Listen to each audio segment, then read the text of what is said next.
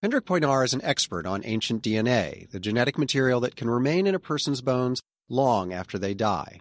In 2012, he traveled to Badia Pozzeveri to find victims of the Black Death. The plague, or the Black Death, killed half of Europe's population between 1348 and 1350.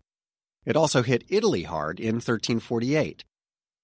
The church at Badia Pozzeveri in Altopascio was on a pilgrimage route. The pilgrims probably carried the plague with them. Hendrik Poinar knows a lot about the Black Death.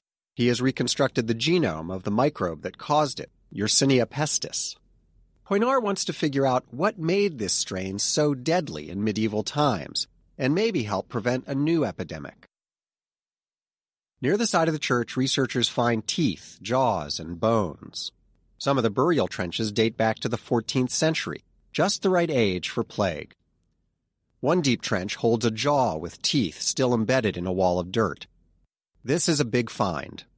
That's because teeth are the best source of ancient DNA, especially if they haven't been contaminated by people handling them. But first, they have to be excavated.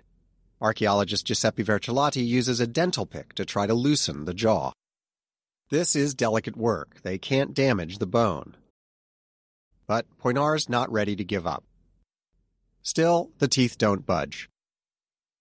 Eventually, the researchers give up on the jaw. The field season at Badia Pozzeveri is ending. But all is not lost. Poinar is able to yank teeth out of other ancient jaws. He'll test them, looking for DNA from many pathogens, such as syphilis, tuberculosis, and the plague.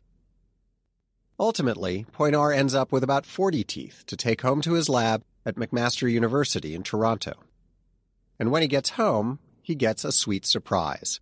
Giuseppe Vercellotti has finally extracted that jaw and sent a tooth along.